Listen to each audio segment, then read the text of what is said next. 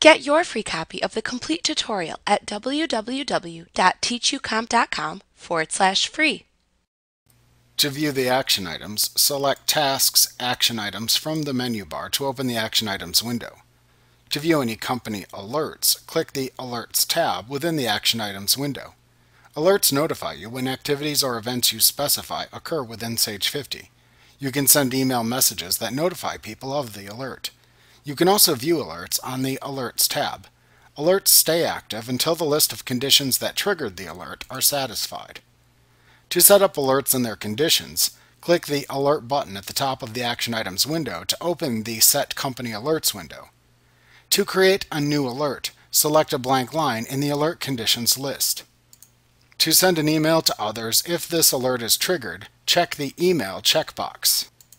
If you do this, type the email address of the person to email into the To field within the email information section.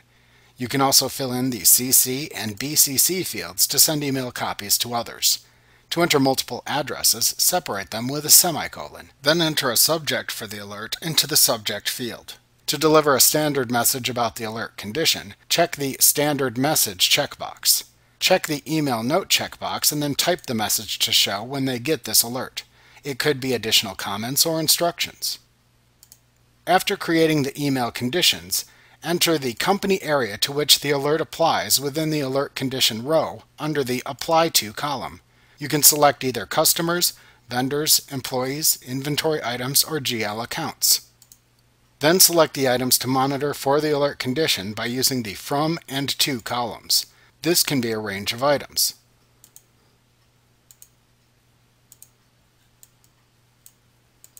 Next, select the type of information the alert monitors under the Type column. The choices here vary based on the type of alert selected.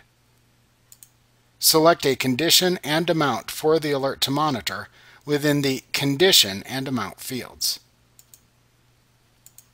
After setting up the alert, click the OK button in the toolbar of the Set Company Alerts window to save the alert.